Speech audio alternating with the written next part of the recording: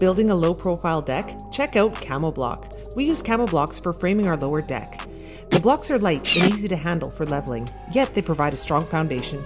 In the end, the deck is solid and we're happy with the results.